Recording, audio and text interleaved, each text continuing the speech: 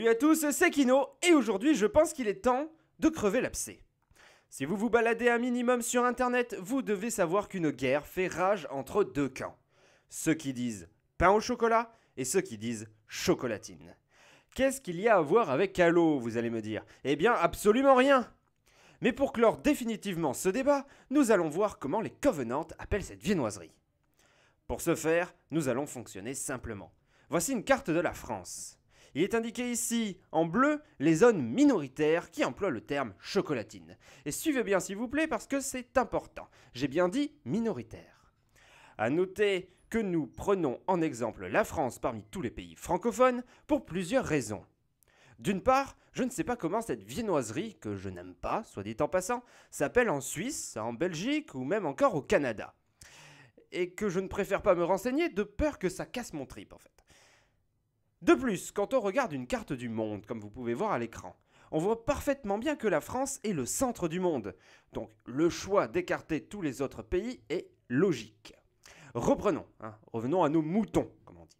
Voici à présent une carte de la galaxie tirée de l'univers d'Halo, où nous pouvons distinguer clairement les lieux de vie des différentes races et peuples.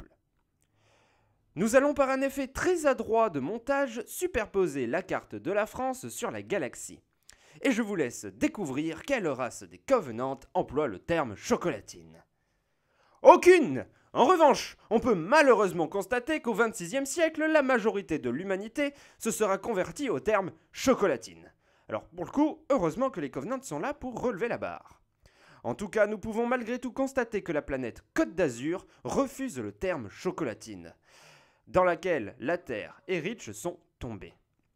Nous résisterons toujours face à l'oppresseur ami du Sud-Est. Mais nous pouvons remarquer également que les potentiels habitants d'Onyx ou de l'Arche évitent totalement le conflit en n'en mangeant pas. Et regardez bien, aucune espèce ne vit dans la zone consanguine.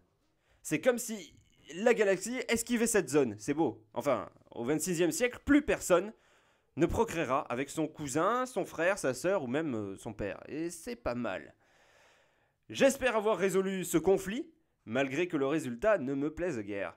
N'hésitez pas à indiquer en commentaire votre camp dans cette lutte sans merci. On se retrouve bientôt pour une nouvelle vidéo. Vous connaissez les mots de la fin. Vive l'eau